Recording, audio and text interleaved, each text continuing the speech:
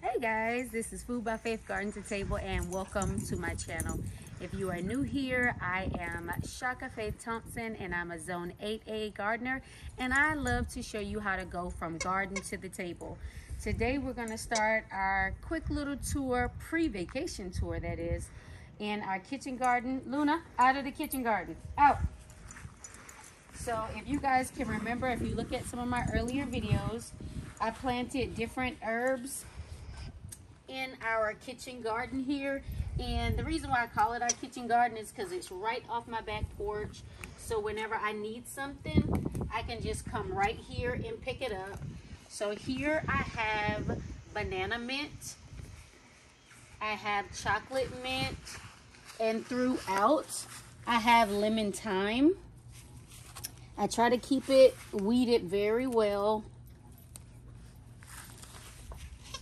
Over here I have what is called a pink candy pop mint and it is pretty good.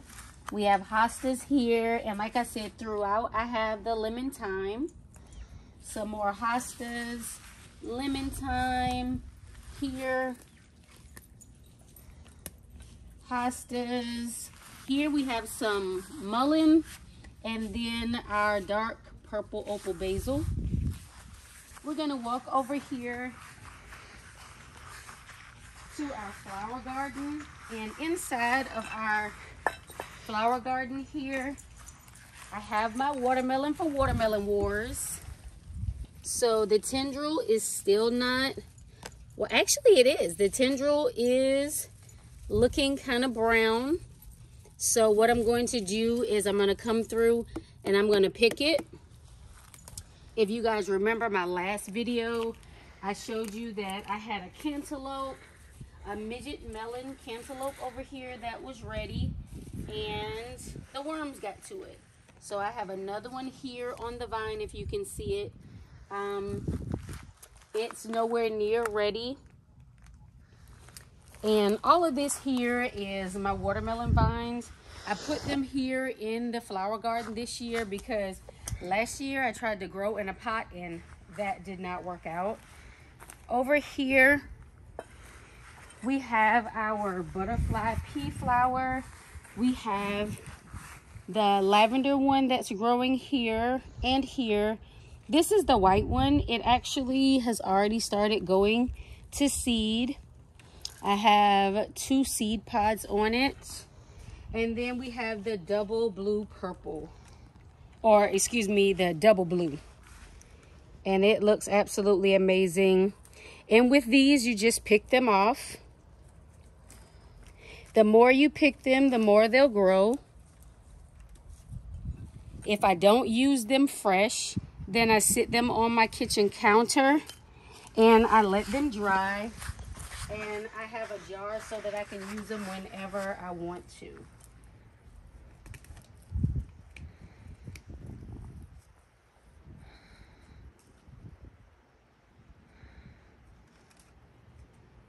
Ahead and get uh, those off. Over here we have our Jamaican sorrel and it's doing pretty good. I have one plant here. If you can remember, I got a seed from Team Benson. I got a seed from the New Orleans gardener and then I also was able to receive a plant from someone. So I have one here, two, and in the back there is three we're gonna come over here and what we're actually going to be harvesting today is going to be our banana peppers. Because like I said this is our pre-vacation harvest. So we want to get everything that's ready this week before we leave. Uh, me and my husband uh, we celebrated 19 years on July the 24th we were married July 24th 2004 so this will be our first year actually taking a vacation for our anniversary because our household is transitioning, we have kids going into the military, going into college, we decided that this was a great time to be able to take a vacation. So it is really, really hot. Ah, ah, ah. Dogs are always trying to get into the garden. It's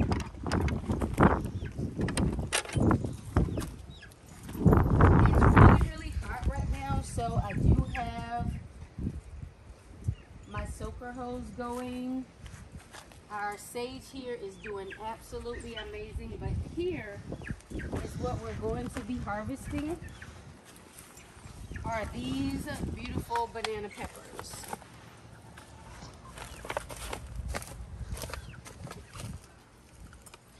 And I'm actually going to be pickling these.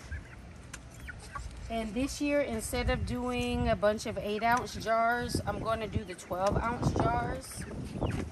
That way, if I need them in a recipe, I'll have the 12 ounce jar. And then if I just need them for sandwiches, the jar still isn't that big. So we're going to get all the ones that are ready. And as you can see, we have a lot that are ready. Our plant is still actually flowering. So that is why I'm using the snips. There's a spider.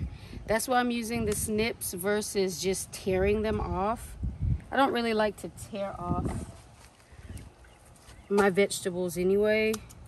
Because if you still want your plant to produce, you don't want to tear the plant up. But these are an awesome size.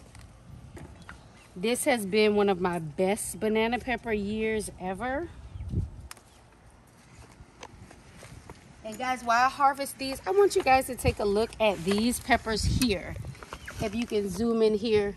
If anybody can tell me what kind of peppers those are, I would really be happy. Because I have absolutely no idea. I lost the tag for it. So I do not know what they are. And one thing I wanted to show Miss Linda was she did talk about this on her live one day because I was complaining and telling her about the leaves on my fig trees looking funny. And she told me just to leave them alone because what it was is they would fall off and then my plant would then fruit. And if you could take a look here, she was absolutely correct. Look at the little figs. And this is my Chicago Hardy fig that I got from Baker Creek. And when you get the plants in, they're about this big. And look how far they have come and actually are starting to fruit. So that is very, very exciting. But guys, I'm going to continue harvesting all the rest of these banana peppers. I'm going to show you um, the finished product of me pickling them and that'll be all for now. I will take you um take you all along with me on my vacation so you can see all the different places that i go and of course all the different plants that i see. So until next time remember to always get up get out and grow something and have faith in our food and we'll see you the next time